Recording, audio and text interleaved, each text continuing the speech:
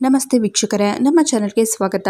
ಇಬ್ಬರು ಗಂಡ ಹೆಂಡತಿ, ಯಾವತ್ತು ಇವರ ಮಧ್ಯೆ ಜಗಳವಾಗ್ತಾ ಇರುತ್ತೆ. ಇಬ್ಬರಲ್ಲಿ ಹೊಂದಾಣಿಕೆಯೇ ಇರೋದಿಲ್ಲ. ಒಂದು ದಿನ ಗಂಡ ಹೇಳ್ತಾನೆ, ನನ್ನ ಸ್ನೇಹಿತನ ಮಗ ಇಂಟರ್ವ್ಯೂಗೋಸ್ಕರ ಮನೆಗೆ ಬರ್ತಾ ಇದ್ದಾನೆ. ಎರಡು ದಿನ ಕಾಲ ನಮ್ಮ ಮನೆಯಲ್ಲೇ ಇರ್ತಾನೆ. ಬಂದ ಮೇಲೆ ಅವನಿಗೆ ಸರಿಯಾಗಿ ಉಪಚಾರ ಮಾಡು ಅಂತ ಹೆಂಡತಿಗೆ ಹೇಳ್ತಾನೆ. ಅದನ್ನು ಕೇಳಿ ಕೋಪಗೊಂಡ ಹೆಂಡತಿ ಅಲ್ಲಿಂದ ಹೊರಡ್ತಾಳೆ. ಸ್ನೇಹಿತನ ಮಗ ಮನೆಗೆ ಬರ್ತಾನೆ. ಪೇಟೆಗೆ ಹೋಗಿದ್ದ ಹೆಂಡತಿ ಮನೆಗೆ ಬರ್ತಾಳೆ. ಬಂದಾಗ ಆ ಹುಡುಗ ನಮಸ್ಕರಿಸುತ್ತಾ ತನ್ನ ಪರಿಚಯ ಮಾಡಿಕೊಡ್ತಾನೆ. ಅಂಥ ಸಂದರ್ಭದಲ್ಲಿ ಹ್ಯಾಂಡ್ಸಮ್ ಆಗಿರುವ ಹುಡುಗನನ್ನು ನೋಡ್ತಾ ಆಕೆ ಅಲ್ಲೇ ನಿಂತು ಬಿಡುತ್ತಾಳೆ. ಒಂದು ದಿನ ಆ ಹುಡುಗ ಸ್ನಾನ ಮುಗಿಸಿ ಹೊರಗಡೆ ಬರುವಾಗ ಈಕೆಯ ಕೆಟ್ಟ ಕಣ್ಣು ಆತನ ಮೇಲೆ ಬೀಳುತ್ತೆ. ಆತ ಸ್ನಾನ ಮುಗಿಸಿ ಸೋಫಾ ಮೇಲೆ ಕೂತ್ಕೊಂಡು ಓದ್ತಾ ಇರ್ತಾನೆ. ಅದೇ ಸಮಯ ಆಕೆ ಕೂಡ ಬಂದು ಆತನ ಜೊತೆ ಆತ್ಮೀಯವಾಗಿ ನಡೆದುಕೊಳ್ಳಲು ಪ್ರಯತ್ನಿಸುತ್ತಾಳೆ. ಒಂದು ದಿನ ಹುಡುಗ ಇಂಟರ್ವ್ಯೂ ಮುಗಿಸಿ ಮನೆಗೆ ಬರ್ತಾನೆ. ತಲೆನೋವು ಅಂತ ಸೋಫಾ ಮೇಲೆ ಕುಳಿತಿರ್ತಾನೆ.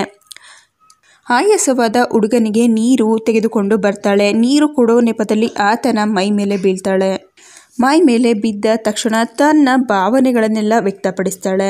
ಗಾಬರಿಗೊಂಡ ಹುಡುಗ ದಿಕ್ಕು ತೋಚದೆ ಅಲ್ಲಿಂದ ಹೊಡಿ ಹೋಗಿ ಬಿಡ್ತಾನೆ ಒಂದು ದಿನ ಆ ಹುಡುಗ ಮಲಗಿರುವ ಆಕೆ ಆತನ ರೂಮಿಗೆ ಹೋಗ್ತಾಳೆ. ಹುಡುಗನಿಗೆ ಹಾಲು ತೆಗೆದುಕೊಂಡು ರೂಮ್ಗೆ ಒಳಗಡೆ ಬರ್ತಾಳೆ. ಹಿಂದೆ ಆಗಿರುವ ಘಟನೆಗೆ ಸಾರಿ ಕೇಳ್ತೇನೆ. ಹಾಲು ಕೊಟ್ಟು ಕುಡಿಯಲು ಹೇಳ್ತಾಳೆ. ಹಾಲು ಕುಡಿದ ಆತ ತಲೆ ಸುತ್ತು ಬಂದು ಮೂರ್ಛೆ ಹೋಗಿ ಬಿಡ್ತಾನೆ. ಆಗ ಆಕೆಯ ವಕ್ರ ದೃಷ್ಟಿ ಆತನ ಮೇಲೆ ಬೀಳುತ್ತೆ. ಆಕೆಯ ಆಸೆಗಳನ್ನೆಲ್ಲ ಪೂರೈಸಿಕೊಳ್ತಾಳೆ. ಒಂದು ದಿನ ಆ ಹುಡುಗ ತನಗೆ ಕೆಲಸ ಸಿಕ್ಕಿದೆ ಎನ್ನುವ ಖುಷಿಯ ವಿಚಾರವನ್ನು ಹಂಚಿಕೊಳ್ತಾ ಇರ್ತಾನೆ. ಇನ್ನೇನು ಎರಡು ದಿನಗಳಲ್ಲಿ ಉಳಿದುಕೊಳ್ಳಲು ಆಫೀಸ್ ಕಡೆಯಿಂದ ಮನೆ ಕೂಡ ಕೊಡ್ತಾರೆ.